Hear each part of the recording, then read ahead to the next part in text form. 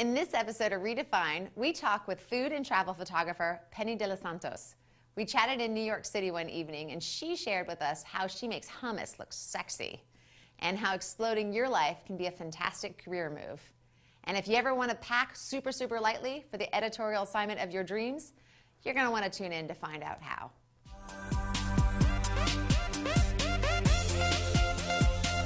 Special thanks to our sponsors Adorama, the photography people, and T1 Line, the voice and data solution experts.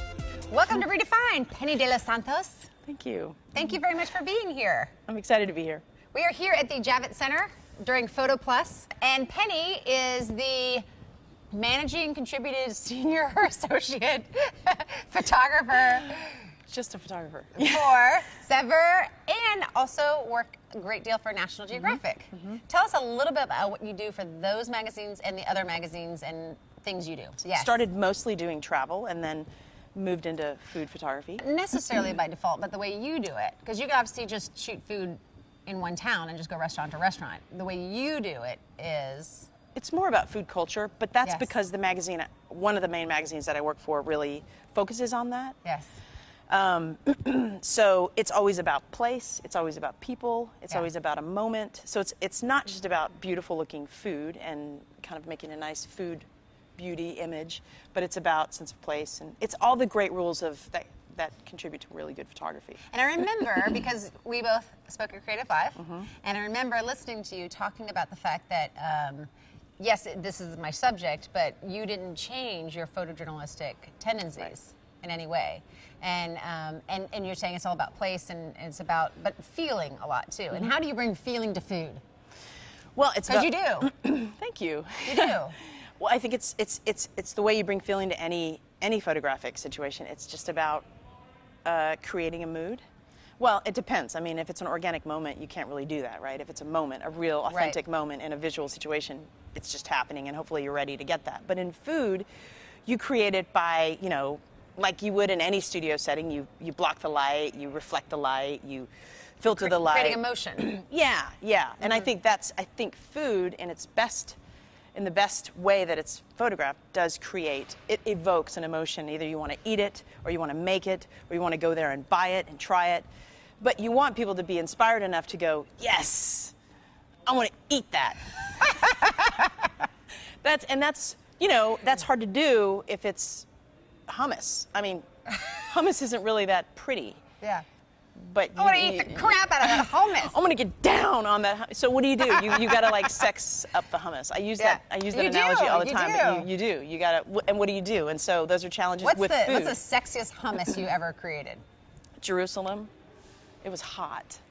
Hot hummus. Hummus was Was it a particular flavor or was it just pure just straight up hummus, and Yep. it's kind of like hummus. The word, the actual word, means chickpea. So.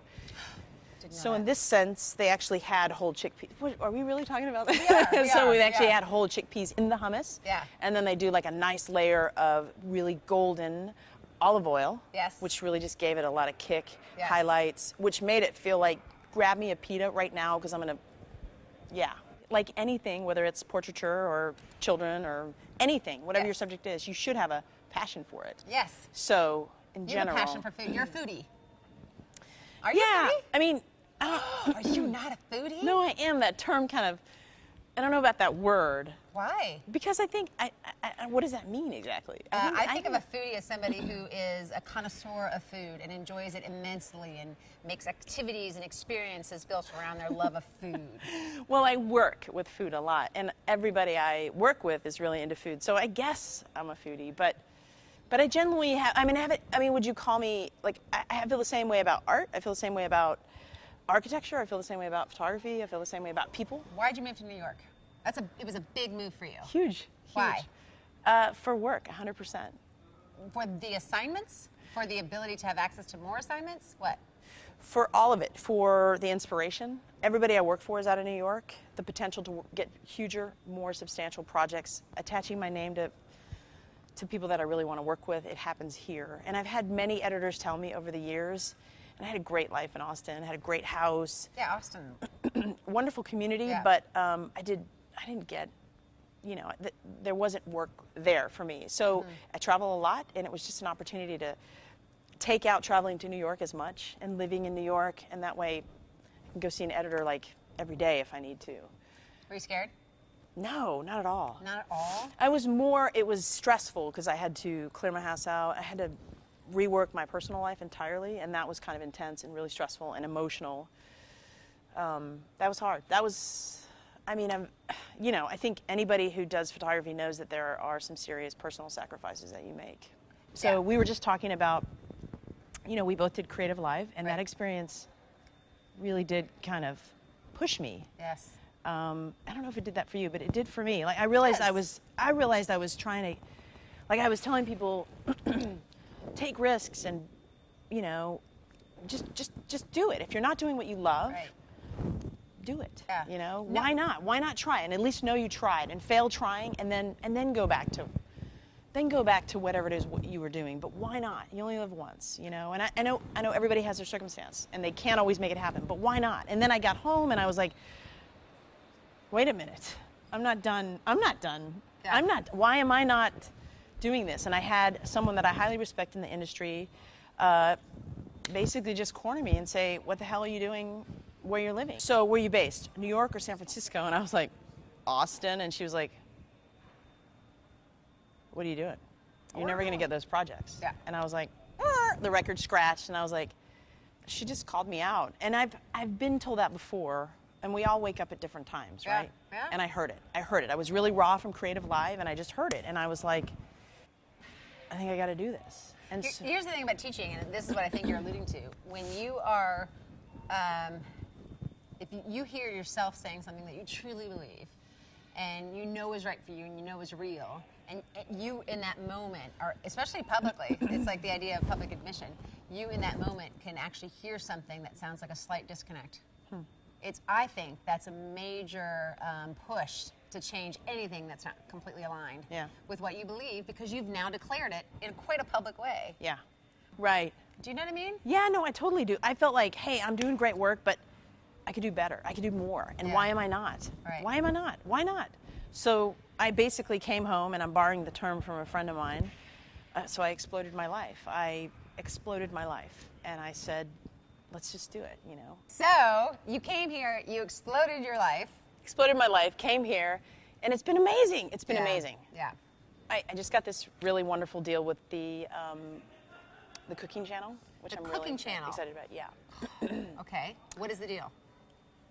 Well, they want to feature my uh, my food culture photography on a regular basis. That's one, and then I just got this big studio gig with them. You, you get a call. It says, get on a plane. We need you in Guadalajara to photograph tacos. Right? Okay. Okay. And it's going to be for um, Taco Magazine. And you have to go within like 12 minutes, grab the lightest amount of gear you can, get on a plane and go. What is the lightest amount of gear that you go with? I'm going with my 5D Mark II, my 24 to 105 4 F4, uh, my two chargers for and two batteries. Okay. and I'm bringing a polarizing filter. Yep. For food. And and Reflections. Liquid food. Go on. well, it's not a, it's not. I mean, I'm, I've got to show a sense of place. I've got to make a portrait. It's gonna Guadalajara. The light is kind of hazy. A lot of industrial pollution there. So She said it's so much better than that. I did. Guadalajara. okay, okay. Um, and a camera bag, a, a Domke, a small profile Domke, and that's it. and some underwear. tight as you go. Just one pair. Only Okay, one. And. I'm gonna turn them inside out. It's light. It's yeah. light packing. I'm gonna, and then I'm gonna. Anyway. Yes, yes, but no additional lighting or that's that that that's that's you. That's your slim That's kit. it. Oh, and I'll bring a small reflector. Okay. That'll be it. Okay. Um, so this is where small reflectors actually come in handy. They're awesome. for the shooting you do. Yeah. I always wonder. You know, I have the little one. I'm like, what am I gonna do? You know, even for the little baby heads, it's, it's not really doing much. Well, no, it's great for food, but then also I can lose. I can use foil in a kitchen. There's always tin foil. There's Yep. also always uh something white. Yes. There's also always something black for the most part. Um, Right. so I can get pretty thrifty. The reflector would be a luxury for sure. You are. Are you always shooting real food? Yeah, it's always real. Okay, and that's not always the case, right? With food photography. It's not for commercial for sure. Right. Uh, but it, in my case, it's almost always real. I mean, in the studio, sometimes it'll be there'll be some fudge room there. here and there for some things, but for the most part, technically speaking, at the end of every shoot, if you wanted to, you could eat it. Thanks to the great talk, Penny. You want to check out the second part of our conversation next time? Yeah, there's more. Until then, though, untether your scanner and go ahead and take it anywhere you want. The Wolverine Pass 200 is a totally portable handheld scanner that is small enough to carry in your purse or a man bag or pocket, whatever. Pop in a micro SD card, battery, and just scan on the fly. You can buy the Wolverine Pass 200 at Adorama.com.